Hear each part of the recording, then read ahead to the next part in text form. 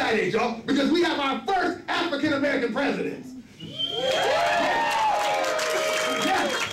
yes. But I'm mad at Barack Obama, though. Because I wish you to pick Jesse Jackson and the Reverend Al Sharpton to be his co-vice presidents. that way, we never have to hear from them two ever again.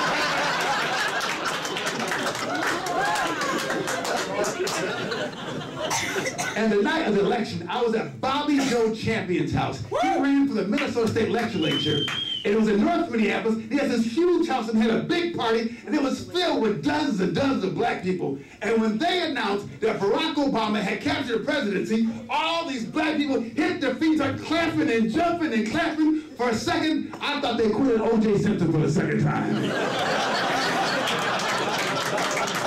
I ain't lying.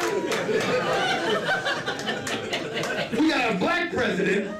A couple of years ago, a black head coach won the Super Bowl. I wondered what's left for black people to do. I got it. Head of the Catholic Church.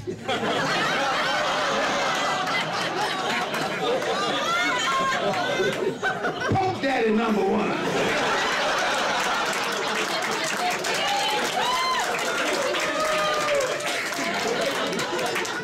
Own record label, limousine service, and clothing line.